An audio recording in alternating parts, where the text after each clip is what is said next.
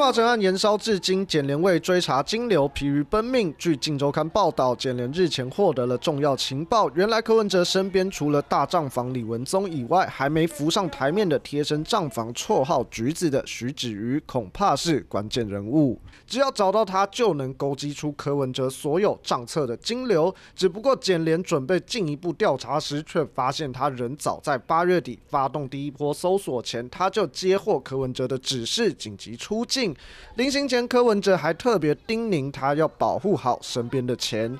之前是指出徐子瑜知道自己的台湾住处已经被搜索过，也有人劝他回国面对，但会不会回来就不得而知。而目前检联正在持续联络他回台接受调查，若还是迟迟未到案，恐怕将面临通缉。另外，《镜周刊》还指出，柯文哲耍赖拒绝讯问，并非首次。早在八月三十号首度到北检应讯，他就用过了这一招。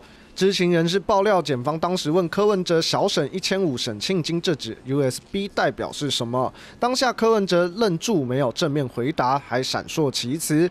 后来还直接站起来掉头，打算离开侦查庭，因此检方只好下令将他当庭逮捕。